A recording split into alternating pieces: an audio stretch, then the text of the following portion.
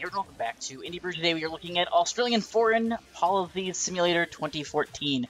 So it's kind of an RTS where we are supposed to protect our pie. So we need one of these bases, which will be the way we attack. We need one of these farms, which is how we continue to make money. And we need the church, which will allow us to convert new people and we will then start firing. So it's kind of like missile defense meets an RTS, but it's also very light is a good way of putting it, maybe perhaps a little derogatory. There's not a whole lot of controls, there's not a whole lot of strategy. Get more men by converting them, etc., etc. Stop them from taking your pies, you make more pies with farms. And prisons, which we haven't built yet, will help you incarcerate incarcerate enemies. Uh, we will actually let this little guy go through because that's actually how we'll be able to make more people. So we'll just kind of keep focusing on our guys. People can't attack when they're hungry or if they need church. Not really sure how that works, but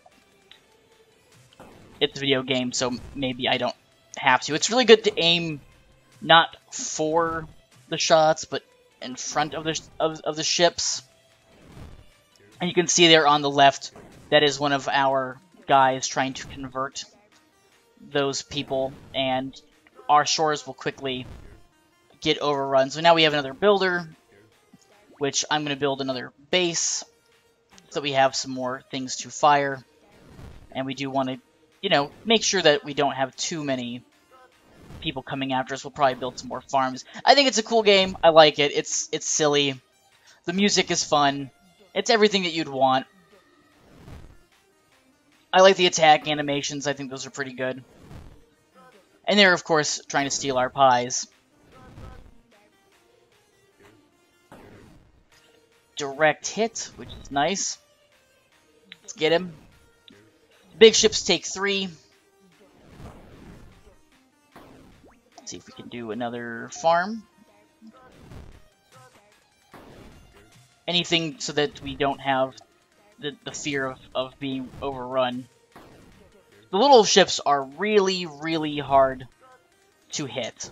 Okay, awesome. And we will do another church. That way we can keep the conversion going. There's no tutorial, which I think is, is, is kind of a negative because it's very simplistic as a game.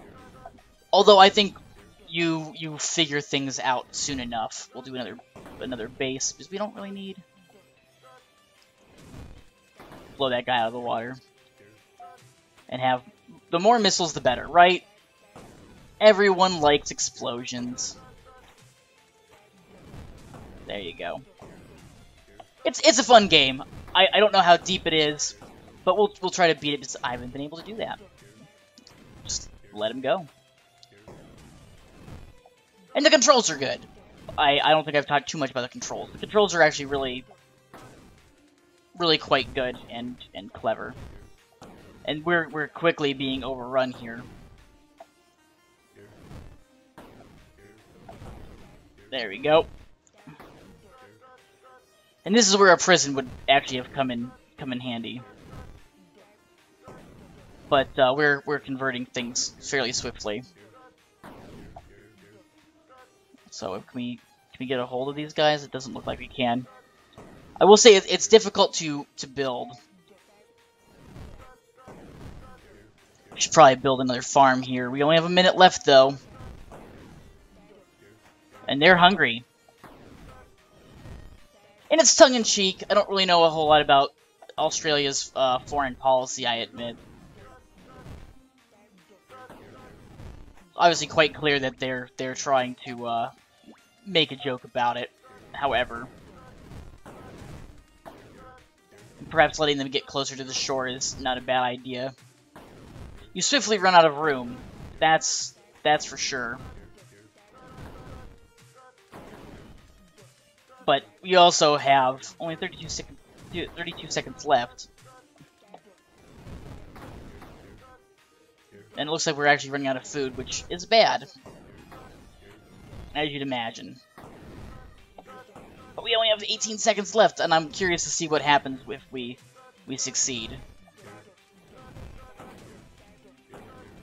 Everyone's starving, though, which is bad.